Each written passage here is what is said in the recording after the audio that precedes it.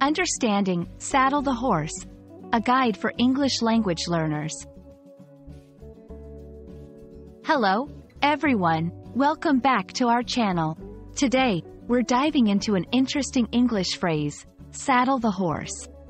This video is perfect for those learning English who want to understand not just the words, but the culture and context behind them. So, let's get started. Firstly, let's break down the phrase, saddle the horse. A saddle is a leather seat used for riding a horse, and to saddle a horse means to put this seat on the horse's back. This action is essential before riding a horse. It's a straightforward task, but it's also foundational for horse riding. We'll see how this literal action relates to the metaphorical use of the phrase. In a metaphorical sense, saddle the horse is often used to mean getting ready or preparing for an action or event.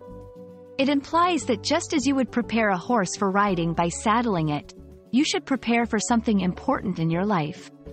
It's commonly used in scenarios where preparation is key to success. Let's look at some examples. Before a big meeting, you might hear someone say, it's time to saddle the horse, meaning it's time to get ready.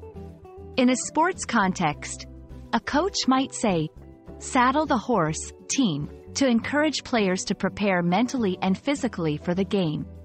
These examples show how the phrase can be adapted to various situations, always keeping the core idea of preparation.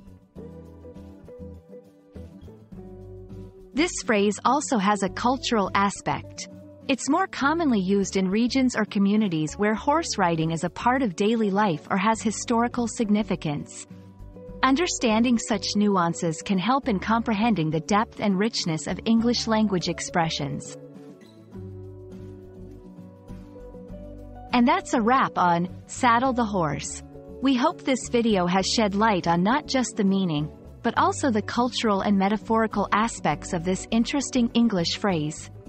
Remember, language learning is not just about words, but the stories and cultures behind them.